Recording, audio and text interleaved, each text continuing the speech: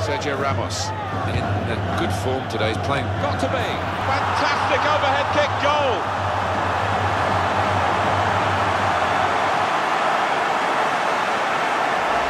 A goal from Bale.